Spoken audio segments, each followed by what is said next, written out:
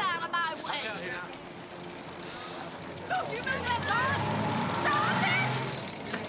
Stop right there! Don't move one inch! Out of the way, folks. Out of the way, please. Come on.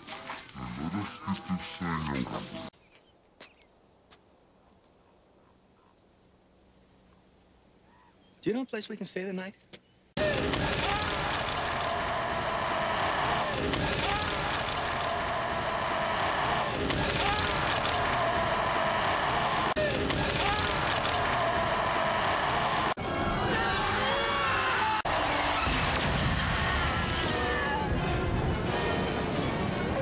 Oh, 65.